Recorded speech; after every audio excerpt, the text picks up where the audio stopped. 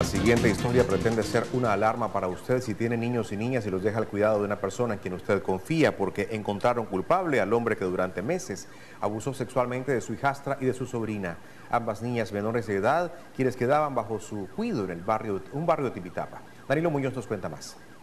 La juez de Tipitapa, Victoria del Carmen López Urbina, del juzgado de audiencia especializado en la ley 779, basándose en las pruebas aportadas por el Ministerio Público y los testigos de cargo, dio el fallo de culpabilidad en contra del acusado Raimundo Antonio Palacio Blandón por ser el actor principal de violación agravada a dos niñas de tan solo siete añitos. Corroborando de parte del perito de inspección ocular el lugar donde y cómo habían ocurrido los hechos, las camas, los menesteres y las estructuras del cuarto y la casa de habitación.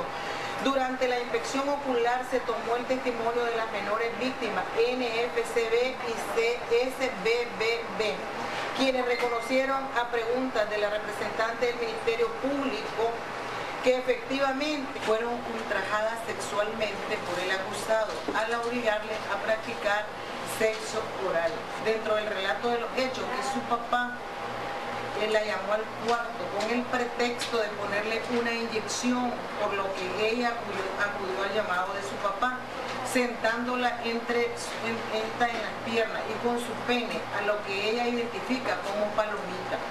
La rozaba, le rozaba las nalgas, le manifestó la menor al forense que sintió la palomita de su papá caliente y suave.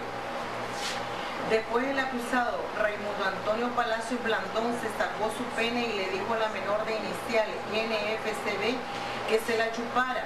Ante la negativa de esta, el acusado llamó a la menor de iniciales, SBBB, para que le enseñara cómo hacerlo. Cabe señalar que la menor de iniciales NFCB dice que después que su primita le enseñó cómo hacerlo, ella también le chupó el pene al acusado sintiendo amargo y caliente el mismo. Debe castigarse a fin que sirva como prevención especial y general, de manera que se contribuya a una desconstrucción de estos actos que a puerta cerrada ocurren diariamente y que ponen en peligro los valores de nuestra sociedad a través de nuestros niños. Por tal razón y ante todo lo expuesto, declaro al acusado Raimundo Antonio Palacio Blandón culpable por los hechos acusados e imputados y calificados definitivamente como violación agravada.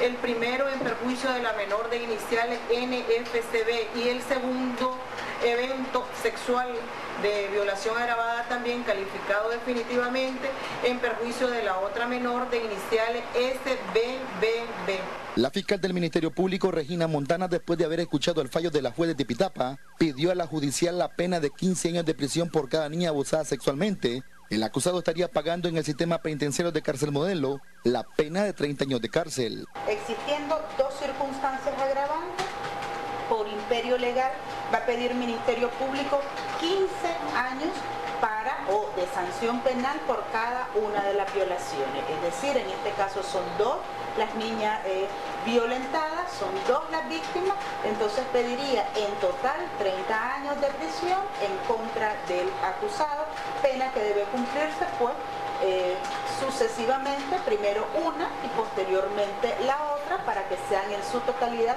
los 30 años de prisión. Esa es la petición, muchas gracias. La lectura de sentencia fue programada para el día 8 de enero del 2018 a las 9 de la mañana.